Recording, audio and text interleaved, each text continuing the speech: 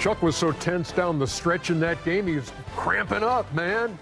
Look at this in the commercial break after our interview with Chris Paul and Dr. O'Neal.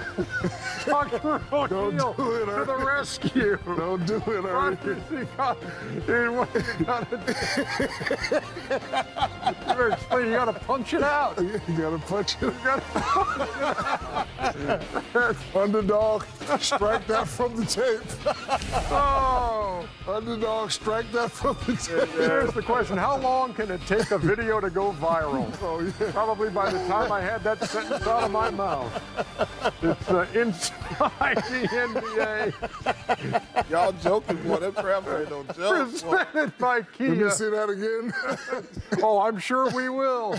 Uh, Ernie Johnson with Shaquille O'Neal and uh, I'm just trying to help my teammate. Charles Barkley. I just love how you, We're just saw the need. You, you saw the need. You saw your teammate in agony with the hammy. Yeah, I and was like, Dr. O'Neal paging Dr. O'Neal.